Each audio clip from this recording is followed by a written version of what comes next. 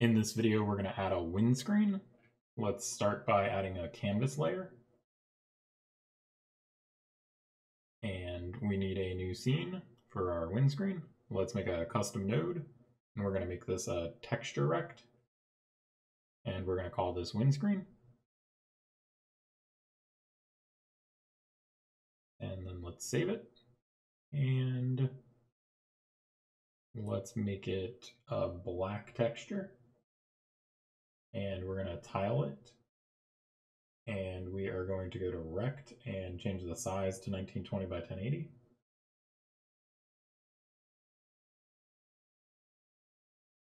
And then we want another texture rect. And we are going to just call this gray background. And we're going to drag the gray texture over to texture. And we're going to tile it again and we're going to set rect the position. We're going to offset by 100, comma um, 100. And then we're going to make the size 1720 by 580. And that looks pretty good. So next we want to add a label.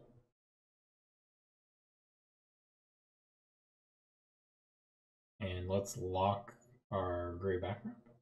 And then for our label, we are going to center it both vertically and horizontally. And then let's type in text of you win with an exclamation. And let's go to rect. And we want our size to be 1720 by 580, just like the gray rec gray texture rect that we're inside of.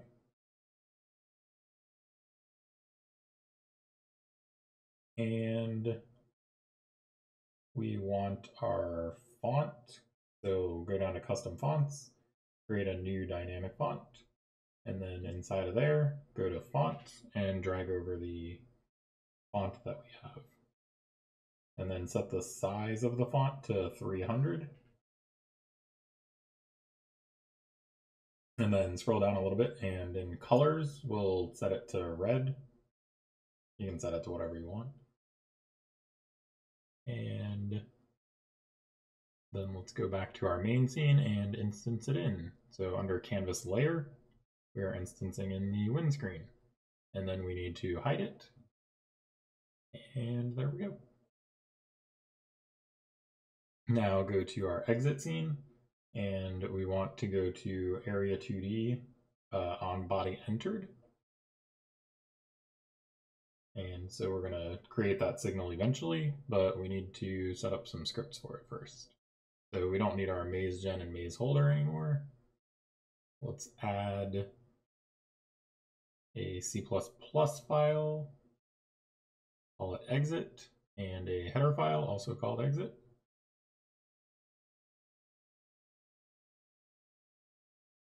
And this will be where we trigger our win screen. So we're also going to need to change root. So go to root.h and in under public variables, we need a static canvas item pointer and we'll just call it pcanvas.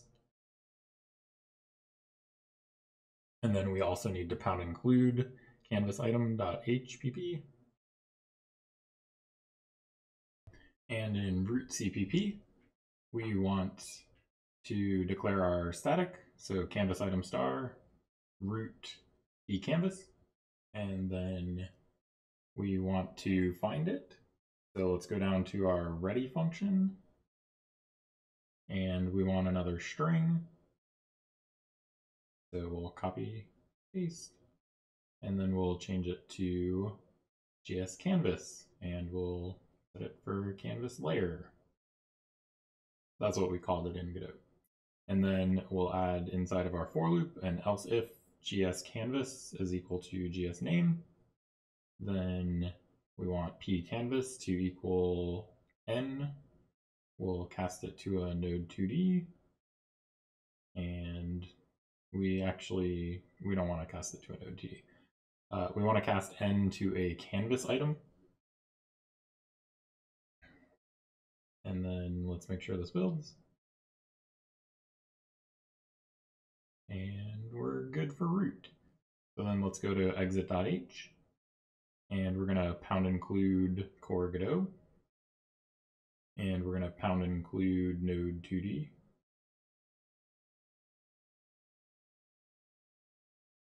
And then we're gonna pound include texture rect. And we're gonna pound include root.h. Then we're in namespace Godot. And we're class exit, type public node 2D. And then we want our Godot class macro. And it's exit comma node 2D. And then public variables, we want our constructor and destructor. And we want static void underscore register methods. And we want void underscore init. And we want void the uh, signal. So go over to Godot and copy paste it. So on area 2D body entered, and that's going to take in a variant. And then let's go over to the exit.cpp, pound include exit.h, of course, and using namespace Godot. And then let's do our underscore register methods. And we're going to register method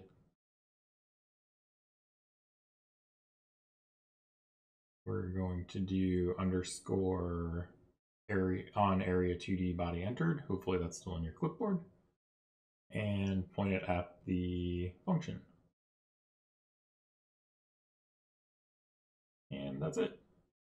Then we want our underscore init, and it can be empty. And then we want our void exit underscore on area 2D body entered. Takes in a variant that we're not going to use. And inside here, texture rect star, we'll just call it T. And cast texture rect star from root p canvas get child zero. And then we want t dot set visible to be true. And we want our constructor and destructor.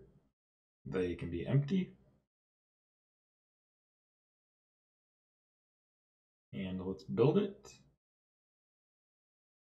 And no errors. So let's go over to Godot library and pound include exit.h, and then register class exit. And build it, and head over to Godot.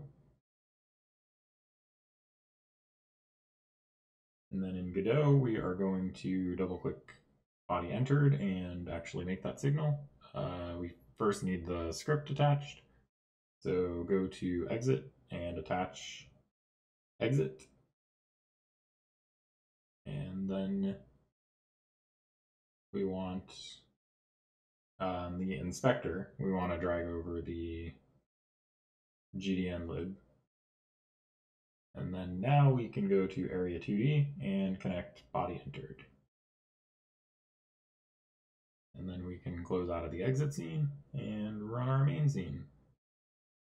And we should get a, a win screen. And there's our win screen. Now let's add some buttons to our win screen so that we can quit or restart. So go back to the win screen and let's add a texture button. We'll call it quit button. And let's set the texture. We'll make pressed be black and normal be yellow.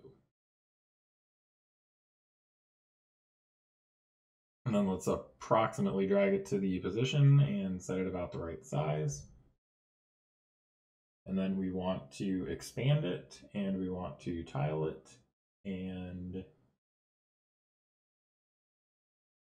then we want to go down to our rect and let's adjust this position a little bit. Make it, let's say 100 by 750 for the position. And size, we can make it 600 by 250. And that looks like a decent size. So let's go and make a label.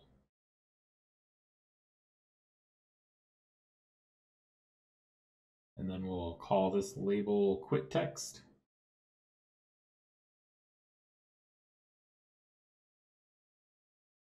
And the text we'll just put quit. And then we want to do the rect and make it size 600 by 250, like our button. And then we want to center the text vertically and horizontally. And we want a font. So go down to custom fonts, create a new dynamic font. And inside of that, in font, drag the font over. And settings size will be, let's say 100. That looks pretty good. And let's go down and set the color. We'll make this blue. And there we have a quit button. Now let's duplicate it. Well, let's lock the quit text first, and then let's duplicate it. And we'll do restart button and restart text. And then for the text in restart text, set it to restart. And let's drag it over to about the right place. And then go down to rect and let's set position to, let's say 1220 by 750 and the size is already correct because we duplicated it. So we now have two pretty buttons. Now let's head back over to Visual Studio. We don't need root or exit anymore. We are going to make a new class. Let's call this WinScreen. And we need a header for it as well. And make sure you click header. And inside the WinScreen header, let us pound include core Godot and pound include texture rect because that's what we are and pound include scene tree so that we can quit. Pound include tree. Pound include root.h and then we are namespace Godot class WinScreen. Type public texture rect. And then we want our Godot class macro, WinScreen, comma, texture rect. And then we want public variables. We're going to do our con constructor and destructor. And then static void underscore register methods. Void underscore init.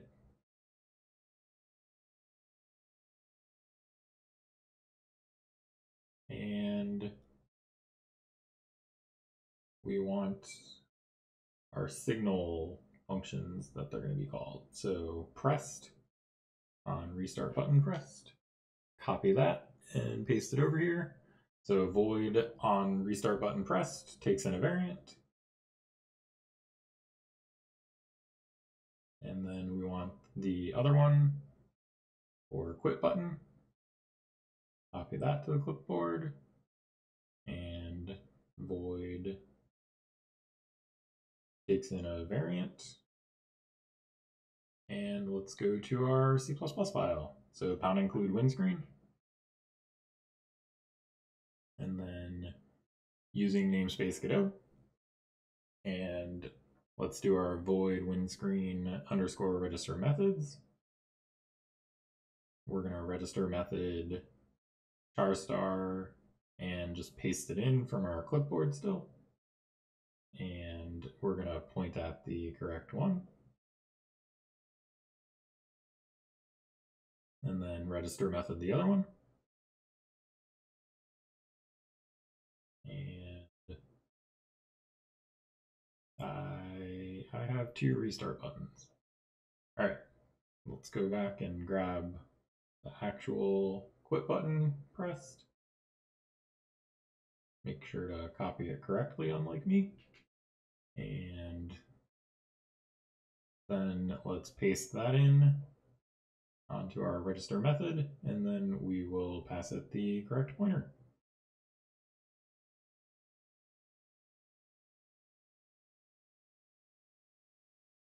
Then we have our WinScreen constructor and destructor. They're both going to be empty. And we'll do our init. So WinScreen underscore init. That's also empty. And then we want void WinScreen underscore on quit button pressed. And that takes in a variant that we're not going to use. And then we just want to do scene tree pointer. Uh, we'll call t and just get tree from that. And then t quit. And that's all we need to do for the quit. And then for void WinScreen underscore on restart button pressed, it also takes in a variant we're not going to use. And we're going to grab the scene tree again,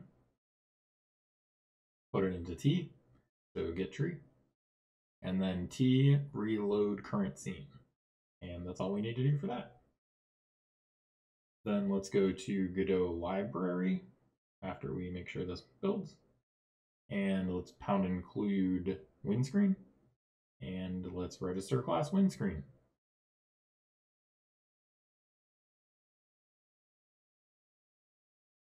That's it. Let's build it and head over to Godot. Now, let's attach our script to WinScreen. And we need to drag over the GDN lib. And then we can run our main scene and we should get a win screen and click quit and it's not doing anything. All right, uh, let's head to the win screen and let's actually attach our signals. So there's our quit button signal and then restart button. Go over and click pressed and connect it. And now it should work.